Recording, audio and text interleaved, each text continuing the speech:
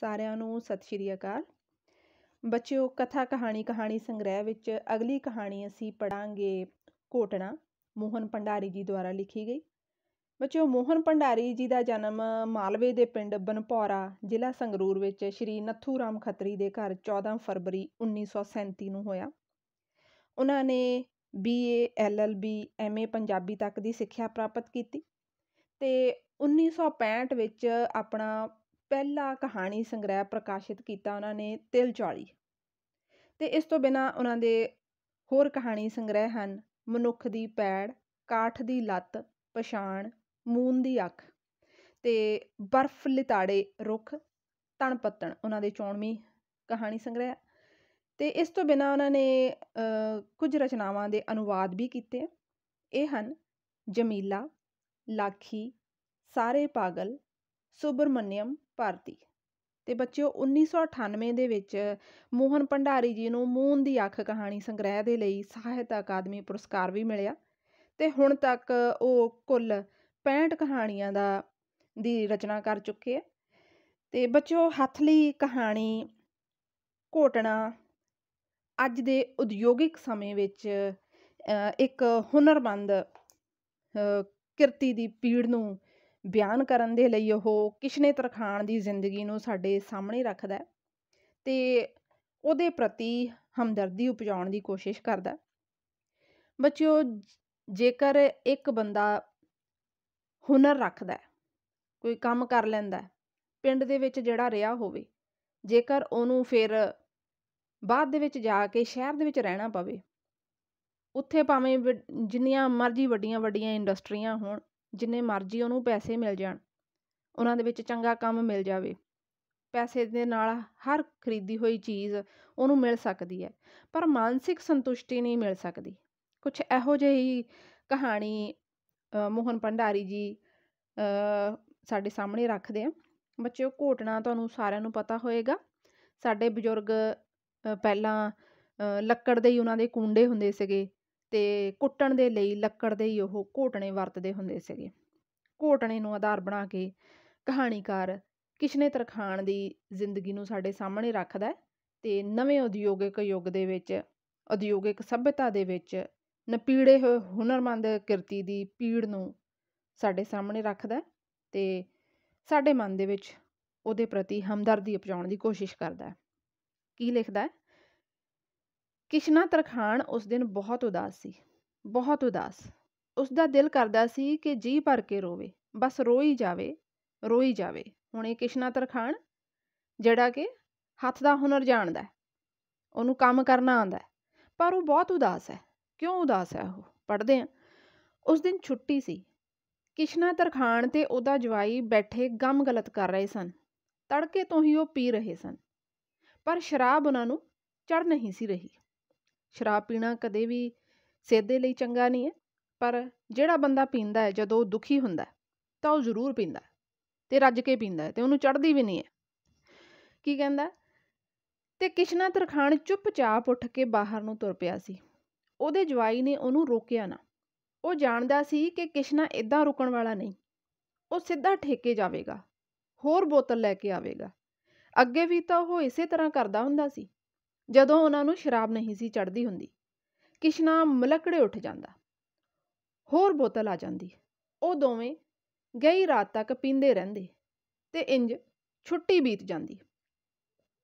ਕਿਸ਼ਨੇ ਦਾ ਜਵਾਈ ਉਹਨੂੰ ਉਡੀਕਦਾ ਉਡੀਕਦਾ ਮੰਜੇ ਤੇ ਪੈ ਗਿਆ।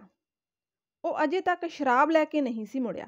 ਹੁਣ ਜਿਸ ਦਿਨ ਕਿਸ਼ਨਾ ਬਹੁਤ ਉਦਾਸ ਹੈ ਤੇ ਉਹ ਆਪਣੇ ਜਵਾਈ ਦੇ ਨਾਲ ਬੈਠਾ ਪੀ ਰਿਹਾ ਹੈ ਅੱਗੇ ਵਾਂਗ ਉੱਠ ਕੇ ਉਹ ਚਲਾ ਵੀ ਗਿਆ, ਉਹਦੇ ਜਵਾਈ ਨੂੰ ਪਤਾ ਕਿ ਠੇਕੇ ਹੀ ਜਾਣਾ ਉਹਨੇ, ਪਰ ਉਹ ਆਇਆ ਨਹੀਂ। ਇਸ ਕਰਕੇ ਉਹਦਾ ਜਵਾਈ ਮੰਜੇ ਦੇ ਉੱਤੇ ਹੀ ਉਡੀਕ ਉਡੀਕ ਕੇ ਪੈ ਜਾਂਦਾ ਹੈ। ਤੇ ਉਸ ਦਿਨ ਕਿਸ਼ਨਾ ਬਹੁਤ ਉਦਾਸ ਸੀ। ਉਹ ਆਪਣੀ ਸਾਰੀ ਜ਼ਿੰਦਗੀ 'ਚ ਇੰਨਾ ਉਦਾਸ ਕਦੇ ਨਹੀਂ ਸੀ ਹੋਇਆ। ਉਹਨੂੰ ਲੱਗਿਆ ਜਿਵੇਂ ਉਹਦੇ ਅੰਦਰ ਕੋਈ ਫੋੜਾ ਰਿਸ ਰਿਹਾ ਹੋਵੇ। ਇੱਕ ਖਿਲਾ ਜਿਹਾ ਪੈ ਗਿਆ ਹੋਵੇ। ਉਹਦੇ ਜਵਾਈ ਕੋਲ ਇੰਨਾ ਧਨ ਸੀ ਕਿ ਉਹ ਦੁਨੀਆ 'ਚ ਬਣੀ ਹਰ ਐਸ਼ ਦੇਣ ਵਾਲੀ ਚੀਜ਼ ਖਰੀਦ ਸਕਦਾ ਸੀ। ਪਰ ਉਹ ਉਹਦੇ ਵਾਸਤੇ ਪਲ ਭਰ ਦਾ ਚੈਨ ਨਹੀਂ ਖਰੀਦ ਸਕਿਆ। ਸੋ ਜੇਕਰ ਅਸੀਂ ਇਹ ਸੋਚਦੇ ਹਾਂ ਕਿ ਪੈਸਾ ਸਾਨੂੰ ਸੰਤੁਸ਼ਟੀ ਦੇ ਸਕਦਾ ਤਾਂ ਇਹ ਅਸੀਂ ਗਲਤ ਸੋਚਦੇ ਹਾਂ। ਮਾਨਸਿਕ ਸੰਤੁਸ਼ਟੀ ਸਾਨੂੰ ਪੈਸਾ ਨਹੀਂ ਦੇ ਸਕਦਾ। ਸਾਨੂੰ ਉਹ ਭਾਵੁਕ ਖੁਸ਼ੀ ਨਹੀਂ ਦੇ ਸਕਦਾ।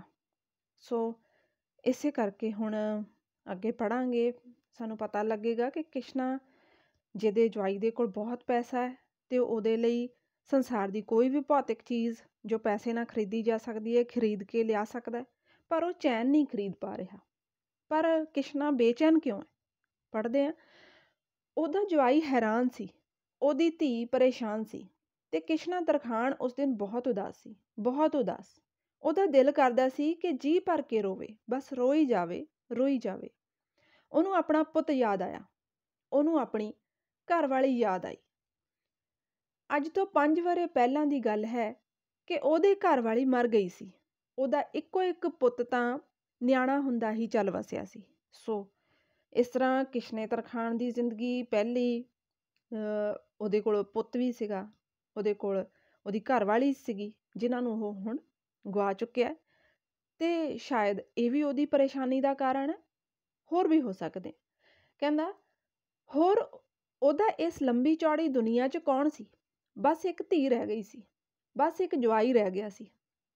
ਅਖੀਰ ਉਹਦਾ ਜਵਾਈ ਉਸ ਨੂੰ ਸ਼ਹਿਰ ਲੈ ਆਇਆ ਸੀ ਨਵੇਂ-ਨਵੇਂ ਕੱਪੜੇ ਪਵਾ ਕੇ ਨਵਾਂ-ਨਵਾਂ ਸ਼ਹਿਰ ਸੀ, ਗਹਿਮਾ ਗਹਿਮੀ ਕਰਦਾ ਸ਼ਹਿਰ, ਜਿੱਥੇ ਬਿਜਲੀਆਂ ਦੇ ਲਾਟੂ ਉਹਦੀਆਂ ਅੱਖਾਂ 'ਚ ਵੜਦੇ ਜਾਂਦੇ ਸਨ, ਜਿੱਥੇ ਪਿੰਡਾਂ ਵਰਗੀ ਸ਼ਾਂਤੀ ਨਹੀਂ ਸੀ, ਜਿੱਥੇ ਪਿੰਡਾਂ ਜਿਹਾ ਟਰਾਮਾ ਨਹੀਂ ਸੀ, ਜਿੱਥੇ ਲੋਕੀ ਹਰਲ ਹਰਲ ਕਰਦੇ ਫਿਰਦੇ ਸਨ। ਹਫੇ ਹਫੇ ਘਬਰਾਏ ਹੋਏ, ਜਿਵੇਂ ਕਿਤੇ ਅੱਗ ਲੱਗ ਗਈ ਹੋਵੇ। ਬੱਚਿਓ ਜਿਹੜੇ ਤੁਸੀਂ ਪਿੰਡਾਂ ਵਿੱਚ ਰਹਿੰਦੇ ਹੋ, ਉਹ ਉਹਨਾਂ ਨੂੰ ਲੱਗਦਾ ਹੋਵੇਗਾ ਕਿ ਸ਼ਹਿਰਾਂ ਦੀ ਜ਼ਿੰਦਗੀ ਸੋਹਣੀ ਹੈ। ਸ਼ਹਿਰਾਂ ਵਾਲਿਆਂ ਨੂੰ ਤਾਂ ਲੱਗਦਾ ਹੀ ਹੈ ਕਿ ਸ਼ਹਿਰਾਂ ਵਾਲੀ ਜ਼ਿੰਦਗੀ ਸੋਹਣੀ ਹੈ। ਪਰ ਜਦੋਂ ਅਸੀਂ ਤੁਲਨਾ ਕਰਦੇ ਹਾਂ, ਤਾਂ ਸਾਨੂੰ ਇਹ ਚੀਜ਼ ਮਿਲਦੀ ਹੈ ਕਿ ਪਿੰਡਾਂ ਦੇ ਵਿੱਚ ਸ਼ਾਂਤੀ ਵਧੇਰੇ ਆ ਸੰਤੁਸ਼ਟੀ ਵਧੇਰੇ ਆ ਖੁਸ਼ੀ ਵਧੇਰੇ ਆ ਕਿਉਂਕਿ ਲੋਕ ਸਹਿਜ ਦੇ ਨਾਲ ਚੱਲਦੇ ਆ ਪਿੰਡਾਂ ਵਾਲੇ। ਉਹਨਾਂ ਵਿੱਚ ਕਿਸੇ ਵੀ ਚੀਜ਼ ਨੂੰ ਪ੍ਰਾਪਤ ਕਰਨ ਦੀ ਇੰਨੀ ਦੌੜ ਨਹੀਂ ਹੁੰਦੀ, ਜਿੰਨੀ ਕਿ ਸ਼ਹਿਰਾਂ ਦੇ ਵਿੱਚ ਹੁੰਦੀ ਆ ਸੋ ਇਸ ਭੀੜ ਭਰੀ, ਭੀੜ ਭਰੇ ਸ਼ਹਿਰ ਦੇ ਵਿੱਚ ਹੁਣ ਕਿਸ਼ਨਾ ਹੈ, ਜਿੱਥੇ ਸਾਰੇ ਪਾਸੇ ਹਰਲ ਹਰਲ ਹੋ ਰਹੀ ਹੈ ਅਤੇ ਲੋਕ ਹਫੇ ਹੋਏ, ਘਬਰਾਏ ਹੋਏ ਨਜ਼ਰ ਆ ਰਹੇ ਆ। ਨਵੇਂ-ਨਵੇਂ ਕੱਪੜੇ ਜਿਨ੍ਹਾਂ ਦੀ ਡੁੱਸ ਹਾਲਾ ਨਹੀਂ ਸੀ ਫੁੱਟੀ, ਉਹਨੇ ਗਲ ਪਾਏ ਸਨ। ਉਹਨਾਂ ਦੀ ਖੜਖੜ ਉਹਨੂੰ ਮਹਿਸੂਸ ਹੋ ਰਹੀ ਸੀ।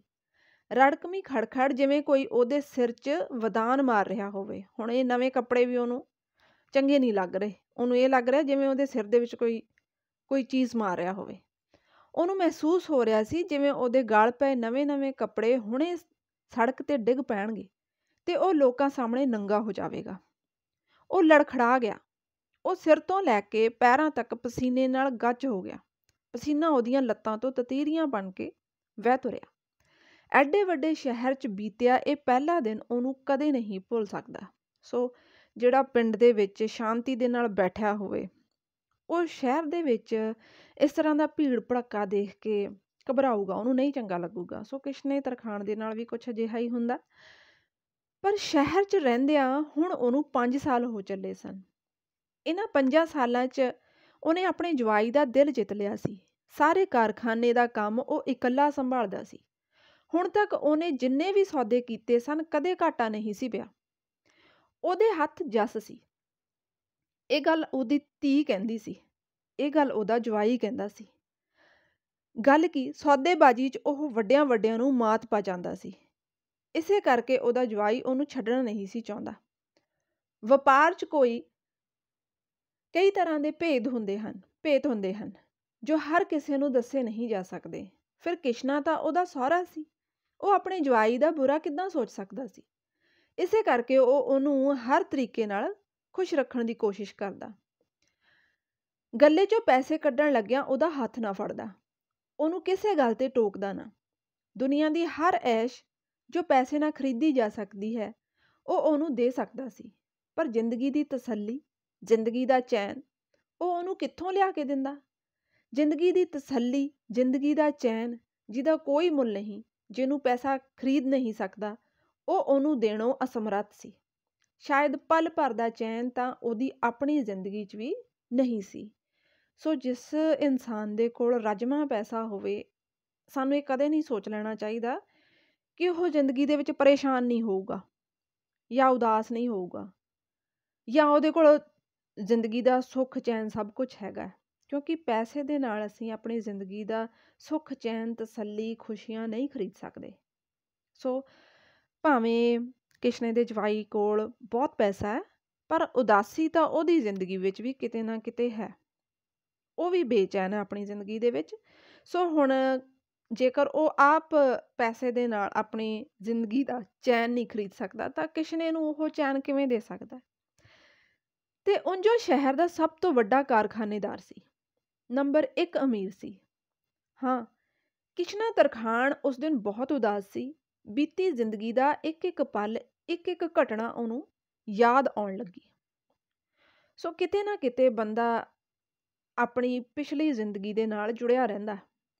ਕਿਸ਼ਨਾ ਵੀ ਆਪਣੀ ਪਿਛਲੀ ਪਿੰਡ ਵਾਲੀ ਜ਼ਿੰਦਗੀ ਦੇ ਨਾਲ ਜੁੜਿਆ ਹੋਇਆ। ਤੇ ਉਹ, ਉਹਨੂੰ ਹੁਣ ਸਾਰਾ ਕੁਝ ਜਦੋਂ ਉਹ ਉਦਾਸ ਹੈ, ਆਪਣਾ ਬੀਤਿਆ ਹੋਇਆ ਸਮਾਂ ਯਾਦ ਆ ਰਿਹਾ। ਪਿੰਡੋਂ ਘੋਟਣੇ ਬਣਾਉਂਦਾ ਹੁੰਦਾ ਸੀ। ਪਿੰਡ ਦੇ ਗੱਬੇ ਉਹਦਾ ਘਰ ਸੀ। ਘਰ ਮੂਰੇ ਛੋਟਾ ਜਿਹਾ ਵਿਹੜਾ। ਵਿਹੜੇ ਵਿੱਚ ਸੰਘਣਾ ਤੂਤ। ਤੂਤ ਦੀ ਠੰਡੀ ਠੰਡੀ ਛਾਂ। ਤੇੜ ਖਦਰੇ ਦੀ ਸਾਫੀ ਪਾਈ, ਢਿੱਡੋਂ ਨੰਗਾ ਤੇ ਪੈਰੋਂ ਨੰਗਾ ਤੂਤ ਦੀ ਠੰਡੀ ਠੰਡੀ ਛਾਂ ਵਿੱਚ ਬੈਠਾ ਉਹ ਘੋਟਣੇ ਬਣਾਈ ਜਾਂਦਾ। ਮੱਥੇ ਤੋਂ ਪਸੀਨਾ ਪੂੰਝਦਾ ਰਹਿੰਦਾ। ਜੇ ਕੋਈ ਕਹਿੰਦਾ, ਓਏ ਕਿਸ਼ਨਿਆ ਸੌਰਿਆ ਕਿਹਦੀ ਖਾਤਰ ਟੁੱਟ ਟੁੱਟ ਮਰਦਾ ਦਿਨ ਰਾਤ? ਹੁਣ ਸਭ ਨੂੰ ਪਤਾ ਨਾ ਉਹਦੇ ਪੁੱਤ ਹੈ ਤੇ ਉਹਦੀ ਘਰ ਵਾਲੀ ਵੀ ਮਰ ਚੁੱਕੀ ਹੈ, ਧੀ ਵਿਆਹੀ ਹੋਈ ਹੈ ਤੇ ਧੀ ਦਾ ਘਰ ਵੀ ਪੂਰਾ ਰੱਜਿਆ ਪੁੱਜਿਆ ਇਸ ਕਰਕੇ ਹੁਣ ਲੋਕ ਉਹਨੂੰ ਕੰਮ ਕਰਦੇ ਨੂੰ ਦੇਖ ਕੇ ਕੀ ਕਹਿੰਦੇ ਆ ਕਿ ਉਹ ਕਿਉਂ ਟੁੱਟ ਟੁੱਟ ਕੇ ਮਰਦਾ। ਦੋ ਘੜੀ ਗਰਮੀ 'ਚ ਤਾਂ ਆਰਾਮ ਕਰ ਲਿਆ ਕਰ। ਦੇਖ ਕਿਵੇਂ ਪਸੀਨਾ ਪਸੀਨਾ ਹੋਇਆ ਪਿਆ। ਤਾਂ ਉਹ ਅੱਗੋਂ ਹੱਸ ਕੇ ਜਵਾਬ ਦਿੰਦਾ, ਉਹ ਭਲਿਆ ਲੋਕਾ, ਕੰਮ ਤਾਂ ਬੰਦੇ ਦਾ ਕਰਮ ਹੈ। ਮਿਹਨਤ ਕਰਨ ਨਾਲ ਤਾਂ ਮਨ ਨੂੰ ਤਸੱਲੀ ਰਹਿੰਦੀ ਹੈ, ਨਾਲੇ ਦੇ ਕੰਗਣ ਵਰਗੀ ਰਹਿੰਦੀ ਹੈ। ਸਹੀ ਮਿਹਨਤ ਦਾ ਪਤਾ ਹੀ ਆਦਮੀ ਦੇ ਪਸੀਨੇ ਤੋਂ ਲੱਗਦਾ ਹੈ। ਕਦੇ ਸੁਣੀ ਨਹੀਂ ਉਹ ਕਹਾਣੀ? ਹੁਣ ਕਿਸ਼ਨੇ ਲਈ ਉਹਦੇ ਸਰੀਰ 'ਚੋਂ ਵਹਾ ਪਸੀਨਾ ਐਵੇਂ ਹੀ ਨਹੀਂ ਹੈ। ਉਹ ਮਿਹਨਤ ਦਾ ਪਸੀਨਾ ਹੈ ਤੇ ਉਹਨੂੰ ਆਪਣੇ ਇਸ ਪਸੀਨੇ ਦੇ ਨਾਲ ਬੜਾ ਪਿਆਰ ਹੈ ਤੇ ਉਹ ਜੋ ਵੀ ਇਸ ਤਰ੍ਹਾਂ ਉਹਦੇ ਨਾਲ ਗੱਲ ਕਰਦਾ ਉਹਨੂੰ ਕਹਾਣੀ ਸੁਣਾਉਂਦਾ ਹੈ। ਕੀ ਕਹਾਣੀ ਸੁਣਾਉਂਦਾ ਫਿਰ ਉਹ ਆਪਣੀ ਕਹਾਣੀ ਸੁਣਾਉਣੀ ਸ਼ੁਰੂ ਕਰ ਦਿੰਦਾ। ਇੱਕ ਵਾਰੀ ਇੱਕ ਦੇਵਤਾ ਸੁਰਗ ਲੋਕ ਤੋਂ ਮਾਤ ਲੋਕ ਵਿੱਚ ਉਤਰ ਆਇਆ। ਇੱਥੇ ਉਹਨੂੰ ਬਹੁਤ ਗਰਮੀ ਲੱਗੀ ਤੇ ਉਸ ਨੂੰ ਸਤਾ ਮਾਰਿਆ। ਪਰੀਆਂ ਨੇ ਉਹਦੇ ਵਾਸਤੇ ਤਰੇਲ ਦੇ ਫੁੱਲਾਂ ਦਾ ਰਸ ਇਕੱਠਾ ਕਰਕੇ ਲਿਆਂਦਾ, ਪਰ ਤੇ ਉਹਦੀ ਫੇਰ ਵੀ ਨਾ ਬੁਝੀ। ਪਰੀਆਂ ਫੇਰ ਪਾਣੀ ਦੀ ਭਾਲ ਵਿੱਚ ਨਿਕਲੀਆਂ। ਕੱਖਾਂ ਤੋਂ ਤਰੇਲ ਉੱਡ ਚੁੱਕੀ ਸੀ। ਫੁੱਲਾਂ ਦਾ ਰਸ ਮੁੱਕ ਚੁੱਕਾ ਸੀ। ਨੇੜੇ ਨੇੜੇ ਖੂਹ ਕੋਈ ਨਹੀਂ ਸੀ। ਟੋਬਿਆਂ ਟਾਂਬਾਂ ਦਾ ਪਾਣੀ ਸੂਰਜ ਨੇ ਚੂਸ ਲਿਆ ਸੀ। ਫਿਰਦਿਆਂ ਫਿਰਦਿਆਂ ਪਰੀਆਂ ਨੂੰ ਇੱਕ ਦਰਖਤ ਥੱਲੇ ਕੁਝ ਗਿੱਲੇ ਕੱਪੜੇ ਦਿਸੇ। ਉਹਨਾਂ ਉਹ ਕੱਪੜੇ ਇੱਕ ਭਾਂਡੇ 'ਚ ਨਿਚੋੜ ਲਏ। ਪਾਣੀ ਦਾ ਭਰਿਆ ਉਹ ਭਾਂਡਾ ਉਹਨਾਂ ਦੇਵਤੇ ਮੂਰੇ ਜਾ ਰੱਖਿਆ। ਜਦੋਂ ਉਹਨੇ ਪਾਣੀ ਪੀਤਾ ਤਾਂ ਉਹਨੂੰ ਬਹੁਤ ਸਵਾਦ ਆਇਆ। ਉਹਨੇ ਪਰੀਆਂ ਨੂੰ ਕਿਹਾ, ਇਸ ਪਾਣੀ ਨੇ ਤਾਂ ਮੇਰੀ ਜਨਮਾਂ ਜਨਮਾਂ ਦੀ ਪਿਆਸ ਬੁਝਾ ਦਿੱਤੀ ਹੈ। ਇਸ 'ਚੋਂ ਮੈਨੂੰ ਚਰਨਾਮਤ ਵਰਗਾ ਸਵਾਦ ਆਇਆ। ਜਿੱਥੋਂ ਇਹ ਪਾਣੀ ਲਿਆਂਦਾ ਹੈ, ਮੈਨੂੰ ਉੱਥੇ ਲੈ ਚੱਲੋ। ਜਦੋਂ ਉਹ ਉਸ ਥਾਂ ਪੁੱਜੇ ਤਾਂ ਕੱਪੜੇ ਉੱਥੇ ਨਹੀਂ ਸਨ।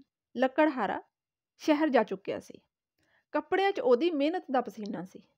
ਇਹ ਕਹਾਣੀ ਸੁਣ ਕੇ ਆਉਣ ਵਾਲਾ ਜਦੋਂ ਨੀਵੀਂ ਪਾ ਲੈਂਦਾ, ਤਾਂ ਕਿਸ਼ਨਾ ਉਹਦਾ ਮੋਢਾ ਝੰਜੋੜ ਕੇ ਕਹਿੰਦਾ, ਪੁੱਤ, ਜਿਹੜੇ ਪਸੀਨੇ ਤੋਂ ਤੂੰ ਨੱਕ ਵੱਟਦਾ ਦੇਵਤੇ ਇਹਨੂੰ ਤਰਸਦੇ ਫਿਰਦੇ ਨੇ।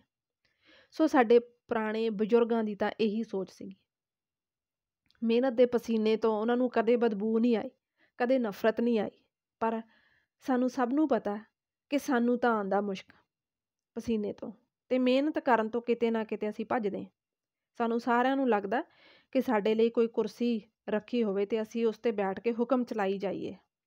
ਪਰ ਜ਼ਿੰਦਗੀ ਦੇ ਵਿੱਚ ਹਮੇਸ਼ਾ ਸਾਨੂੰ ਹੁਕਮ ਵਾਲੀ ਕੁਰਸੀ ਮਿਲੇ ਜ਼ਰੂਰੀ ਤਾਂ ਨਹੀਂ। ਸੋ ਇਸ ਕਰਕੇ ਸਾਨੂੰ ਜੋ ਵੀ ਮਰਜ਼ੀ ਹੈ, ਮਿਹਨਤ ਦਾ ਪੱਲਾ ਕਦੇ ਨਹੀਂ ਛੱਡਣਾ ਚਾਹੀਦਾ। ਸਰੀਰ ਦੇ ਵਿੱਚੋਂ ਜਿੰਨਾ ਪਸੀਨਾ ਨਿਕਲੇ ਉਨਾ ਹੀ ਚੰਗਾ। ਸੋ ਹੁਣ ਕਿਸ਼ਨਾ ਤਰਖਾਨ ਤਾਂ ਇਹ ਕਹਾਣੀ ਸੁਣਾ ਕੇ ਸਭ ਦੀ ਬੋਲਤੀ ਬੰਦ ਕਰ ਦਿੰਦਾ ਹੈ। ਆਉਣ ਵਾਲਾ ਸਿਰ ਹਿਲਾ ਕੇ ਸਹਿਮਤੀ ਪ੍ਰਗਟ ਕਰਦਾ। ਕਿਸ਼ਨਾ ਤਰਖਾਣ ਫਿਰ ਘੋਟਣਾ ਬਣਾਉਣ ਲੱਗ ਪੈਂਦਾ। ਜਦੋਂ ਇਸ ਕੰਮੋਂ ਵਿਹਲਾ ਹੁੰਦਾ, ਤਾਂ ਹੋਰ ਨਿੱਕੇ ਮੋਟੇ ਕੰਮ ਕਰਨ ਲੱਗ ਪੈਂਦਾ। ਕਾਰਖਾਨੇ 'ਚ ਪਏ ਲੋਕਾਂ ਦੇ ਧਰੇ ਮੰਜੇ ਪੀੜੀਆਂ ਦੀਆਂ ਚੂਲਾਂ 'ਚ ਫਾਲਾਂ ਦਿੰਦਾ ਰਹਿੰਦਾ। ਨਵੀਆਂ ਬਾਹੀਆਂ ਨੂੰ ਸੇਰੂ ਪਾਉਂਦਾ ਰਹਿੰਦਾ। ਪੰਜਾਲੀਆਂ 'ਚ ਨਵੀਆਂ ਅਰਲੀਆਂ ਘੜ-ਘੜ ਪਾਉਂਦਾ ਰਹਿੰਦਾ। ਵਿਹੜੇ ਚੌਂ ਸੰਵਾਰਦਾ ਰਹਿੰਦਾ। ਚਰਖਿਆਂ ਦੀਆਂ ਮੁੰਨੀਆਂ ਬਦਲਦਾ ਰਹਿੰਦਾ। ਨਿਆਣਿਆਂ ਦੀਆਂ ਗੁੱਲੀਆਂ ਘੜਦਾ ਰਹਿੰਦਾ। ਟੁੱਲਾਂ ਮਾਰ-ਮਾਰ ਉਹ ਗੁੱਲੀਆਂ ਗਵਾ ਦਿੰਦੇ, ਉਹ ਹੋਰ ਕੱਢ ਦਿੰਦਾ। ਇਸ ਤਰ੍ਹਾਂ ਉਹ ਰੁੱਝਿਆ ਰਹਿੰਦਾ। ਸੋ ਇਸ ਤਰ੍ਹਾਂ ਕਿਸ਼ਨੇ ਤਰਖਾਣ ਦੀ ਜ਼ਿੰਦਗੀ ਬੜੀ ਰੁਝੇਵਿਆਂ ਵਾਲੀ ਹੈ ਤੇ ਇਹ ਰੁਝੇਵੇਂ ਉਹਨੂੰ ਬਹੁਤ ਪਿਆਰੇ ਆ। ਉਹਦੇ ਮਨ ਨੂੰ ਤਸੱਲੀ ਰਹਿੰਦੀ।